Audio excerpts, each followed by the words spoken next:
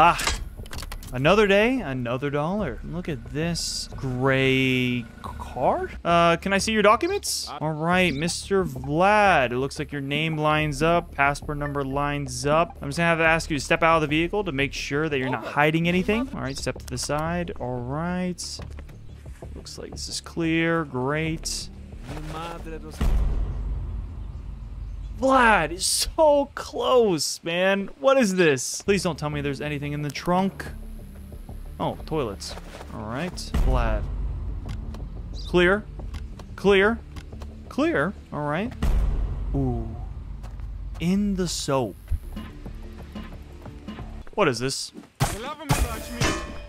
Counterfeit money? You're trying to offer me $510? You know what? It's probably counterfeit, dude. So I'm going to say no. You know what, bro? Put that money away. Put your hands behind your back. You're going straight to the camp.